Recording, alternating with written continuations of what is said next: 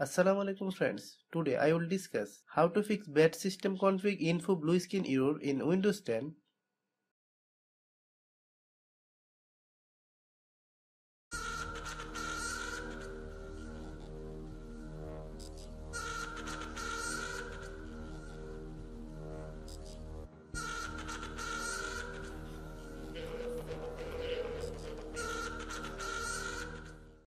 Click search then type cmd.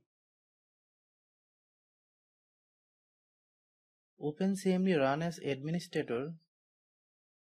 Select yes.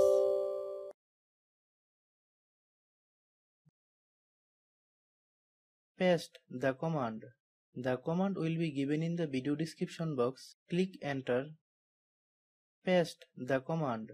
The command will be given in the video description box. Click enter. Paste the command. The command will be given in the video description box. Click enter. Paste the command. The command will be given in the video description box. Click enter. Paste the command. The command will be given in the video description box. Click enter. Paste the command. The command will be given in the video description box. Click enter. Paste the command. The command will be given in the video description box. Click enter. Paste the command. The command will be given in the video description box. Click enter. Paste the command. The command will be given in the video description box. Click enter. Paste the command. The command will be given in the video description box. Click enter. Paste the command. The command will be given in the video description box. Click enter. Solution 2. Update all your available drivers. Right click on the start button. Click device manager.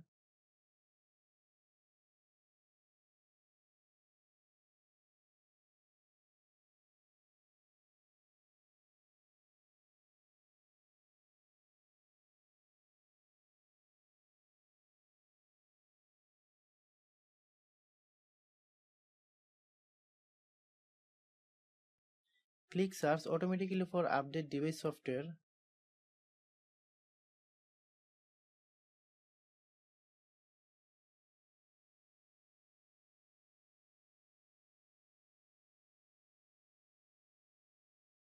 Click close.